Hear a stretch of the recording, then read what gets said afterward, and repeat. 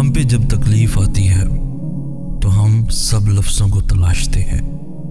हमारा दिल चाहता है कि तब हमें कोई इंसान ऐसी दुआ बताए, जिसे पढ़ने से हमारी मुश्किल आसान हो जाए और हमारे दिल को सुकून मिल जाए। तब हमारा जी चाहता है कि हमें कोई ऐसी दुआ आती हो, जिसकी तरतीब से हमारा अल्लाह हमसे राज़ी हो जाए। तब हम बस सही लफ्ज़ों की तलाश में होते हैं। जो पूरा असर हो। हालाँकि दुआएँ तो जैसी भी हों, अल्लाह को बहुत पसंद होती है। ख़ासकर वो दुआएँ जो बंदा खुद अपने लिए, अपने मुँह से बोल कर माँगता है। क्योंकि उन दुआओं की तरफ़ ही और होती है। लेकिन फिर भी कहीं ना कहीं हम चाहते हैं कि हमारी दुआएँ सबसे बेहतरीन दुआएँ हों। और उनमें इस्तेमाल किए गए अल्फाज सबसे मुख्तलिफ़ हों। और अल्लाह को हमारी तरफ़ बता देने वाले देर हो रही है तो ज़रूर कुछ बेहतरीन मिलने वाला है। अगर कर रहे हो सब्र तो ज़रूर इसका अजर मिलने वाला है। होकर मायूस, तुम अगर फिर से जीने में आए हो तो ज़रूर तुम्हें इसका सहारा मिलने वाला है। यकीन रखो उस ज़ात पर तो यकीनन वो तुम्हारा दिल खुश करने वाला है। वो चाहता है कि तुम हिम्मत रखो, तुम्हें तुम्हारे दर्द का दर मिलने वाला है। अगर मांगा है तुमने एक कतरा तो यकीनन तुम्हें पूरा समंदर मिलने वाला है। चल रहे हो बिना मंजिल के, जिस रास्ते में तुम सुकून रखो, तुम्हें उसकी रहमतों का इशारा मिलने वाला है। बाज दफ़ा अल्लाह आपको आपकी सबसे पसंदीदा चीज़ों और लोगों से दूर कर दिया करता है। मकसद आपका दिल दुखाना नहीं होता। दरअसल, आपका उस रब के करीब होना मकसूद होता है। अगर कहीं महसूस हो कि आप अकेले हो तो मत भूलना कि आप कम अज़ कम अकेले नहीं हो सकते। अल्लाह ताला कभी भी किसी को अकेला नहीं करता। उसका नाम लेके देखो। दिल की गहराइयों से उसे पुकार के देखो। आपकी माँ आपकी एक पुकार पर इतना तड़पती है तो वो कितना पास आता होगा। कभी उम्मीद नहीं खोने, कभी उदास नहीं होना, क्योंकि वो कभी उम्मीद तोड़ता नहीं है। वो दिलों को जोड़ने वाला है, वो बेनूर चेहरों को नूर कर देने वाला है। वो तुम्हारी छोटी छोटी कोशिशों से भी वाकिफ है, जो तुम उसकी रजा में राज़ी होने के लिए करते हो। वो तुम्हारा सब्र करते करते थक कर गिरना और फिर दोबारा उठना और सब्र करना भी देखता है। वो तुम्हारी बेरब्त दुआओं को भी जानता है, जो तुम हर वक्त दिल में मांगते रहते हो। उसकी बाहरगाह में तुम्हारा कोई भी थोड़ा सा भी अमल ज़ाय नहीं होता। वो देख रहा है, जानता है तुम्हारा हौसला और हिम्मत, वो खुश है तुमसे और उसके पास तुम्हारा अजर भी तैयार है। बस जल्द तुम अपना अजर हासिल कर लोगे और फिर तुम देखोगे वो रब वाकई कुछ नहीं भूलता वो हर कोशिश, हर अमल का अजर देकर ही रहता है।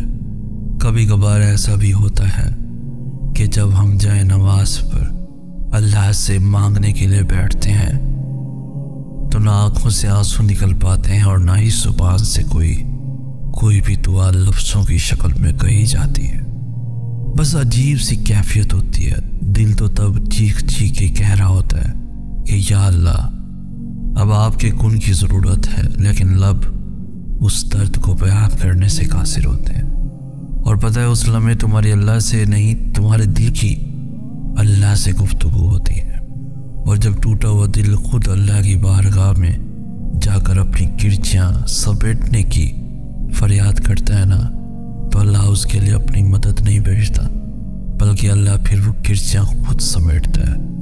अल्लाह तब वसीले नहीं बनाता उसके लिए, बल्कि अल्लाह खुद उसका वसीला बन जाता है। तुम्हारी ये खामोशी अल्लाह के यहाँ बहुत ज़ोर का शोर मचा देती है।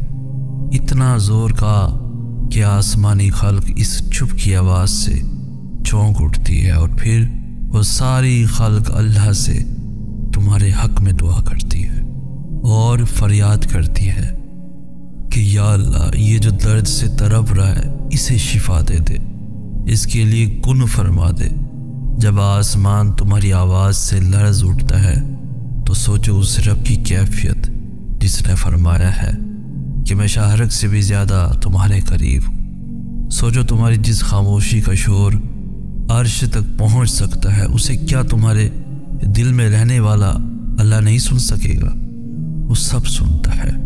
वो सब जानता है। तब भी जब तुम कहते नहीं और तब भी जब तुम कहना नहीं चाहते। वो धड़कन है और वो धड़कनों की ही सुनता है। फिर ऐसे ही मौज से करता है कि दिल फिर से जी उठते हैं। धड़कनें फिर से बहाल हो जाती हैं और वैरान आँखें शुक्र से भर जाती हैं। फिर गिरजियाँ भी सिमट जाती हैं और शिफा भी मिल जाती है।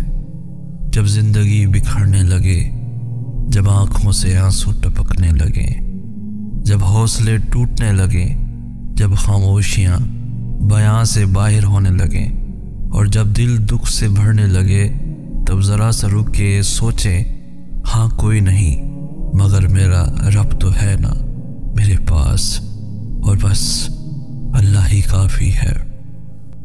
देर हो रही है तो ज़रूर कुछ बेहतरीन मिलने वाला है। अगर कर रहे हो सब्र तो ज़रूर इसका अजर मिलने वाला है। होकर मायूस, तुम अगर फिर से जीने में आए हो तो ज़रूर तुम्हें इसका सहारा मिलने वाला है।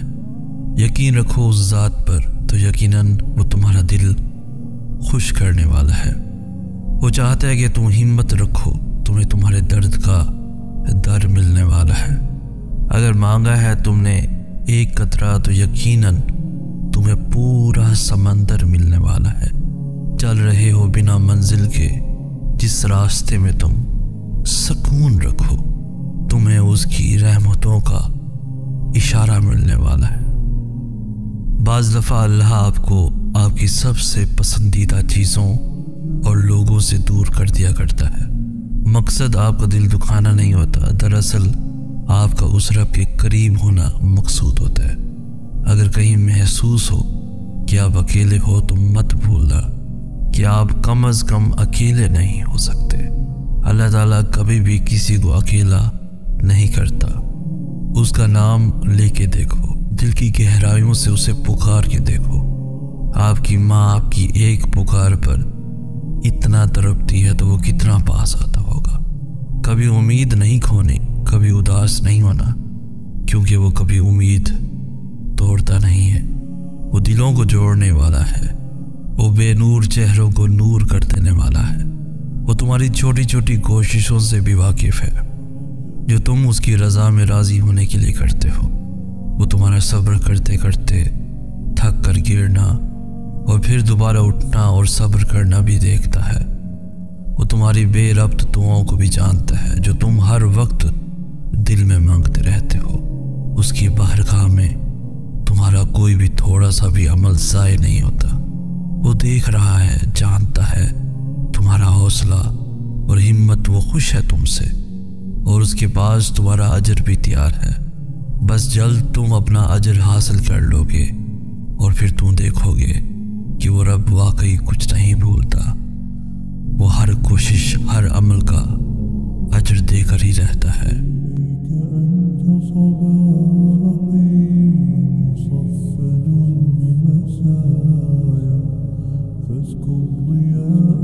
Mm-hmm.